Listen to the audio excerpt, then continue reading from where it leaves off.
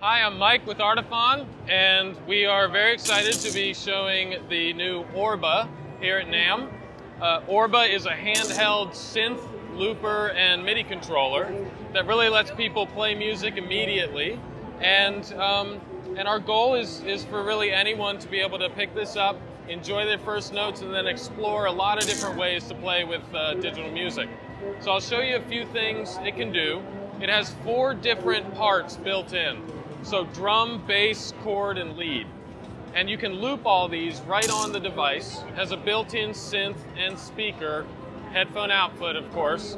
And you can connect to anything else with USB or Bluetooth MIDI. So I'm connected right now to some Logic sounds uh, with uh, USB cable. And I can basically tap with velocity but I also have a lot of other gestures I can do, like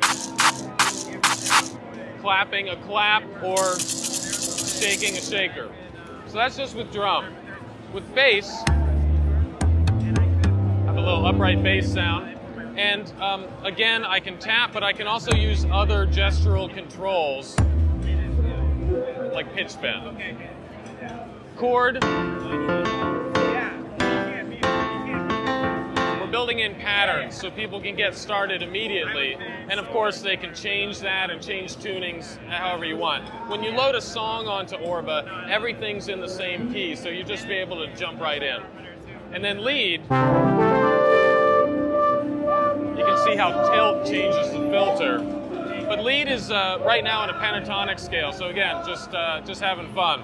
So Orba has eight pads on top. We use capacitive sensing technology so that we can actually sense before you hit it the velocity.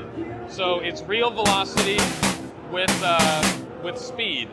And then we're also getting um, multiple other gestures through the top interface. So um, vi uh, vibrate and, sorry, vibrato and radiate, and then slide around. So there's a couple couple things we can do with the sort of like rotary phone gesture.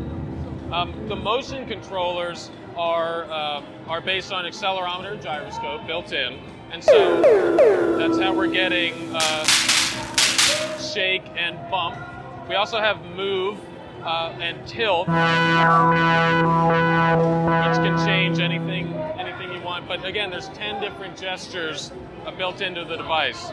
It's volume controls, power, and Bluetooth, uh, USB-C, and a headphone or line out, and the speakers on the back.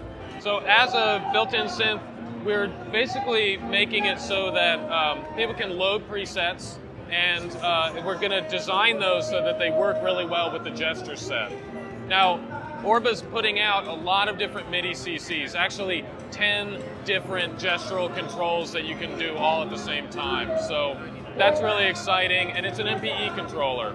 So it'll plug right into any MPE synth, and obviously classic MIDI as well. So the built-in looper is going to be able to record a couple minutes of, uh, you know, some basic looping built in. There's no screen, so we're keeping it really simple. And then through the app, you'll be able to export MIDI and audio to whatever else you're working on. So we are focused on shipping to our Kickstarter backers now. Uh, we're starting shipping in April. And right now on our website, uh, customers can sign up to reserve their place in line. Uh, you know, as the production expands, we'll basically um, be able to ship in that order.